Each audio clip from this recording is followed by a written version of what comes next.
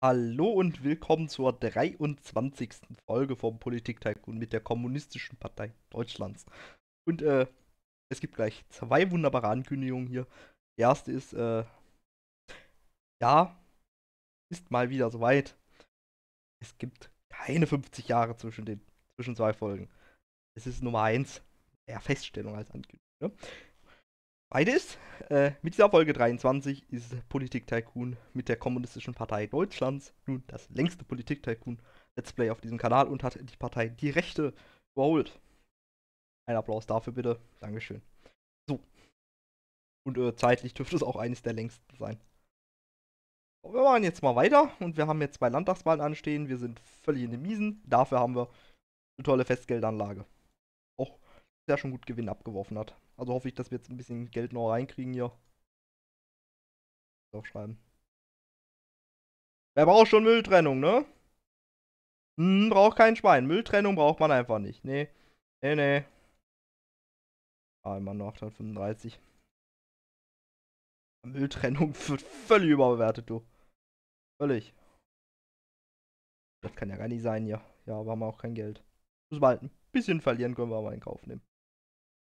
Ah, haben, wir können leider nicht bestechen, das wird wahrscheinlich nicht durchkommen. Wären 1,5 Millionen, die wären halt schon gut. Grün stimmen dafür. Ja, dagegen ja. Union dagegen ja. AfD dagegen ja. EDAG, okay, das kommt nicht durch. Ja, schade. Ah. Versuchen es aber nochmal, glaube ich. Der Lose verlässt ja drei Wochen ist Sachsen dran. Ich würde jetzt gern sagen, oh, wir können uns ja nochmal schön Fernsehwerbung leisten, dass wir auch nichts verlieren, aber das, das können wir uns momentan gar nicht leisten, du. Jetzt sogar Ewigkeit mal wieder auf 13.000 runter, du.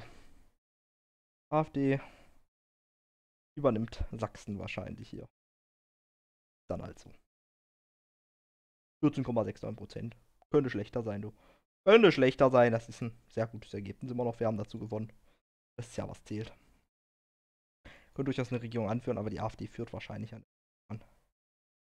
Ja. Linke muss halt zustimmen. Das ist quasi unmöglich.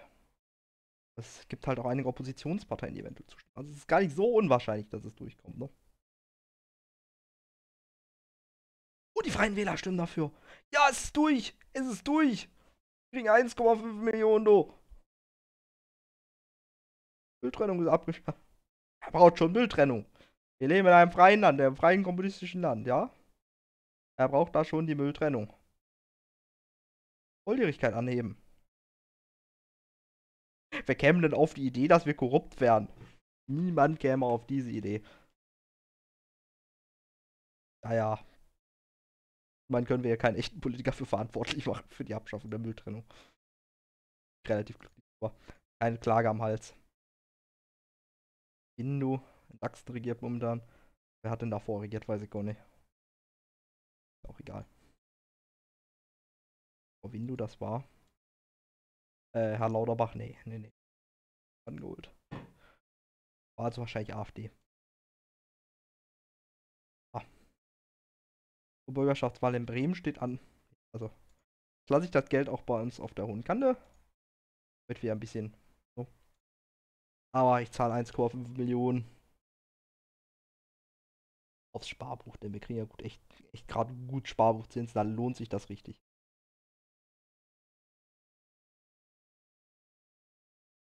Ah ja.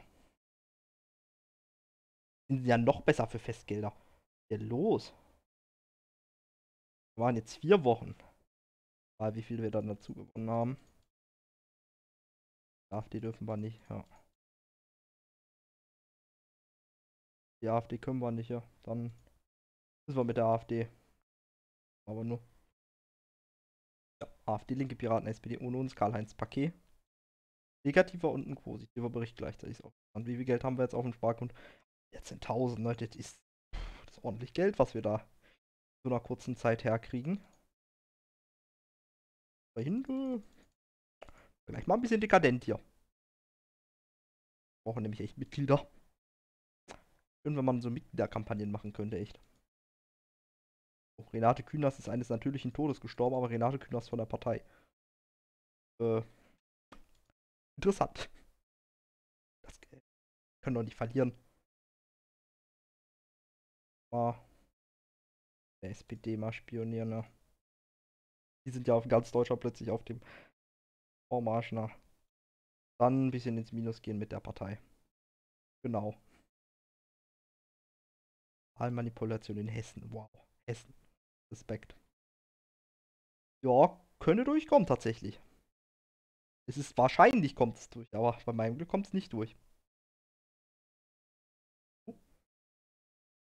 Also bitte wieder mit den vier stärksten. Volljährigkeit 19. Oder an alle 18-Jährigen. Halt doof. Alle 18-Jährigen in diesem, diesem Jahr hier, denn da sind alle, die jetzt dieses Video schauen, schon über 18, also entsprechend. Ich entschuldige mich vor euren Kindern und Kindeskindern. No? So, Bremen. 30,67%. Das sind Ergebnisse, von denen man nur träumen kann, du. Ja. Ohne uns kann nicht regiert werden. Plus minus 0 Sitze, das ist völlig in Ordnung. Sagen wir da bleiben. Bereiten wir jetzt aber schon mal die Landtagswahl in Bayern von 38 Wochen. Und machen dann tatsächlich nochmal 20 Wochen Gesamtlandwerbung. Ach, hab, haben wir noch am Laufen? Ach, hätte ich vorher angefangen. Naja. Und jetzt führen wir erstmal wieder die Mülltrennung ein. Das ist sonst echt äh, absurd. NPD müssen jetzt echt keine Regierung machen. KPD und Linke, sehr schön. Margot Windu. Beuking. Strafmündigkeit senken. Forschungsausgaben erhöhen, ja. Haben wir gerade schon leider eine Sache am Laufen hier. 660.000 Arbeitgeber. Danke aber auch, du. Unglaublich unfair. Unglaublich unfair. Oh. Mhm. Die Grünen stimmen gegen Mülltrennung. Die auch lustig. Die Union dafür. Hm. E dafür. Linke dafür, dann müsste das durch sein. Ja. In der Partei auf jeden Fall. Sonst knapp gescheitert wäre. Heil ist tot. Aber das jetzt hier wieder liberal ist ihn. Toll. Herr Vinzenzens. Jetzt Forschungsausgaben erhöhen, ne?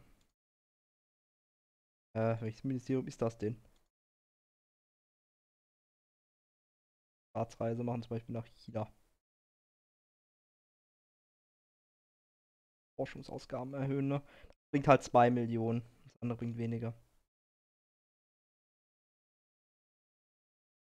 Forschungsausgaben. Forschungsaufgaben. Was denn? 9, 3, 1, 9, 7, 1, 6. Aufrunden hier. Sechs Wochen. Quatsch. 26 Wochen in Bayern, da tritt Karl Lauterbach an. Würde ich natürlich gern Radiowerbung machen, aber wir wurden ja gerade beraubt. Das ist natürlich viel zu teuer, vorher hätten wir uns das leisten können. Naja. Und das hier, was ist hier los, dass wir jetzt hier wieder verlieren. Schau mal. Hessen kommt ja mal kurz nach Bayern. Sieht sehr gut aus. Bei der Union müssen wir sonst nochmal nachhelfen. Äh.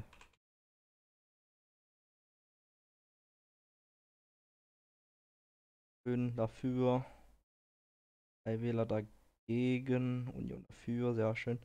AfD dafür, sehr schön. Nee, dafür, ja gut, hätten wir gar nicht bestechen müssen. Linke dafür, alles super hier. Perfekt.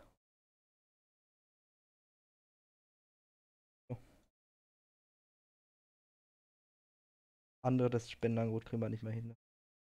So Strafmündigkeit senken. Wir probieren's. Wir machen halt Politik, wie es uns gefällt. Es ist halt, wie es äh, den Spendengebern gefällt. Ein Millionchen. Ich habe schon über 100.000 Jahre dem Gedöns hier gemacht, ne?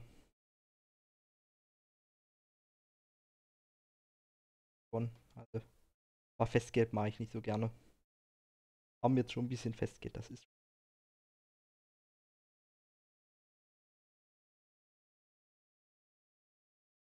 Also, es läuft, es läuft hier. Es läuft gerade für uns. Also finanziell zumindest. Ah. Eins gewesen. Erhöhen. 250.000, dafür macht man noch nichts.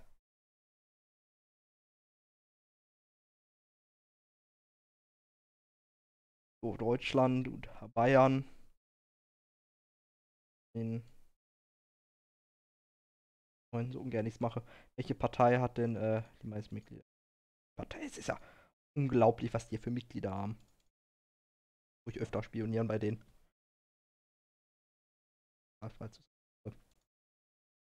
Die müssen ja so viel Geld haben, dass sie noch nicht alle Wahlen gewinnen. Oh man, Elvis Sellerie. Oder? Negativer Bericht. Ah, gut. Hm. Ah, läuft nicht so. Wann ist denn jetzt Hessen? Äh. Gut, ist wohl verschoben durch die Neuwahlen, die wir zwischendrin hatten, ne? Meine eigene Gesetzesänderung.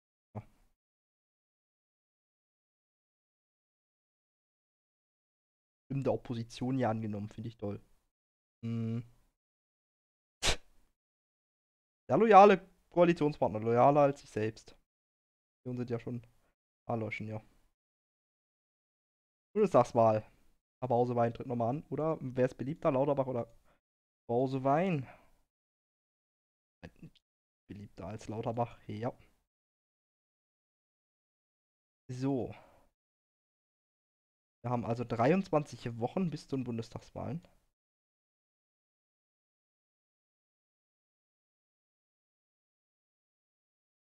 Und uns nochmal Millionen vom Konto. Genau. Ja, schön. Eben.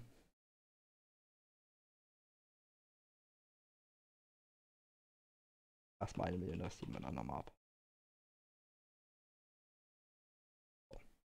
Bayern aus. Scheiß in Bayern aus, das heißt, wir spielen hier bei den freien Wählern. Vorher schon machen können eigentlich, aber bei Manipulation Brandenburg, ja gut, das wirkt jetzt nicht sehr stark auf Bayern aus. Den bestimmt, aber naja. Also in der Realität, wenn die Wahlmanipulation vorbei dann wären die im ganzen Bund unwählbar geworden für die meisten Menschen. Außer die Partei heißt Union. Oder die Parteibund heißt Union. Dann äh, wären sie noch viel wählbarer geworden. In Radiowerbung natürlich sehr gut leisten. Muss ja ja längst als stärkste Partei abgelöst worden. Ja, wir haben dazu gewonnen als einzige Partei nach neben der SPD und der NPD. Völlig bescheuert hier, Parlament. Keine absolute Mehrheit für die Freien Wähler. Das ist deprimierend, ne? 104 Jahre die Vorspordung. Oh. Haben wir über 3 Millionen zur Verfügung. Wir machen jetzt, wir gehen jetzt voll auf Risiko hier. Kann sagen, ja. Barbuch. War ja halt die Freien Wähler, die da so stark sind. Das macht halt viel aus im Bund leider. Jetzt können wir uns das nicht leisten. Gehen dann natürlich immer noch mit ins Minus. Können uns jetzt halt quasi nichts mehr in Niedersachsen leisten. Wenn wir bunte Radio machen, dann ist das ja auch Auswirkungen auch in Dispo hier. Das ist Risiko, was wir hier machen. Aber das gefällt mir doch. Vielleicht kommen wir sogar an die Regierung. Ne, die gehen lieber mit der NPD was ein. Und Monika Grütters von den Freien Wählern. Der Präsident. Natürlich. 1000. Das heißt, wir gehen jetzt 13.000 hoch. Werbung ist echt was Feines im Bund. Kann man schön Mitglieder hier kriegen. Festgeld fertig. Oh, schön. Genau das habe ich gerade gebraucht. Bundestagswahl können wir sicherlich wieder an Festgeld. Oh, das kann doch nicht sein, jo. Wir machen doch gerade alles, was in unserer Macht steht, wirklich. Wir greifen jetzt alle Parteien einmal an. Ja. Voll auf Risiko gehen, alles Geld raushauen, du. Und die Wahlen, die machen wir jetzt auch noch in dieser Folge. Keine Neuwahlen. Das ist meine einzige Hoffnung. Bei Neuwahlen kriegen wir uns natürlich wieder schön Geld. Wenn wir Prozente verlieren, dann hoffe ich wohl, dass es Neuwahlen gibt, natürlich. Verlieren, wir haben nur in den meisten Landtagswahlen, was, also wir haben eigentlich in allen Landtagswahlen dazu gewonnen. Gut, das ist halt auch mit der letzten Bundestagswahl bedingt.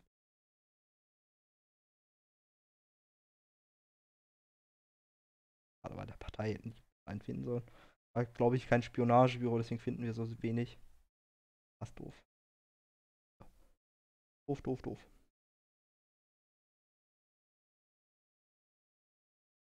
Äh, AW. Äh, wir, fahren jetzt alle Geschütze auf hier.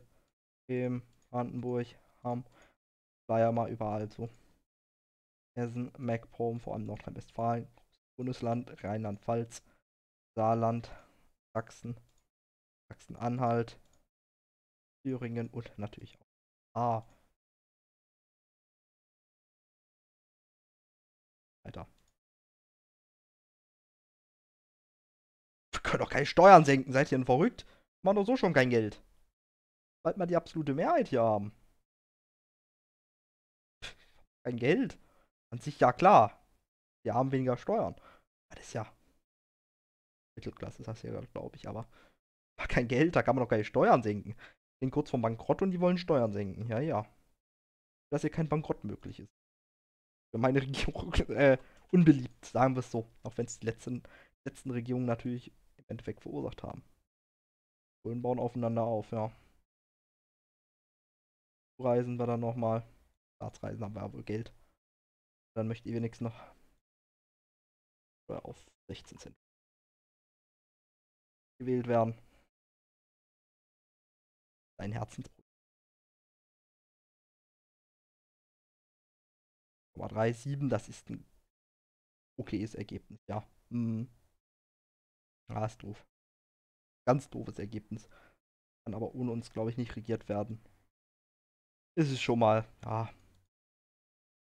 Ne. Nicht das Gelbe vom Ei, aber man kann mitarbeiten. Sagen. Beste Geldanlage bitte. Ah. 2 Millionen. Jahre.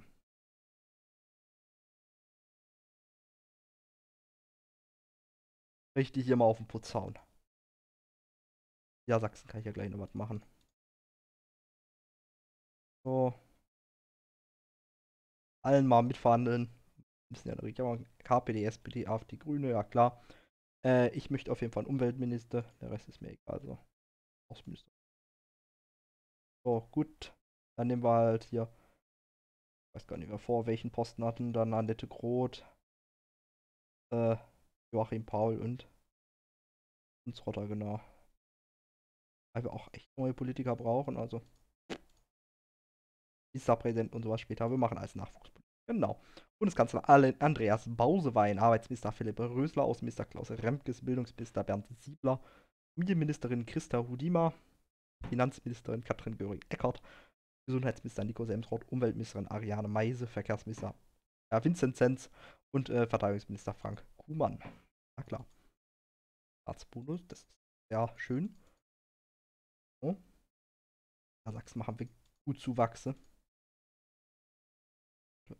Boah, nee. Nee, nee. Nur eine Wahl stehen, nee. Dann zahle ich erstmal 2 Millionen aufs Sparbuch ein. Das können wir jederzeit wieder abheben, aber Sparbuchzinsen sind einfach zu gut, um mich da nicht drum zu kümmern. Und dann endlich diese Maxi-Folge mit äh, Verlusten bei der Bundestagswahl, aber prinzipiell einem deutlichen Aufwärtstrend. Genau. Dann sage ich vielen Dank fürs Zuschauen. Bis zum nächsten Mal und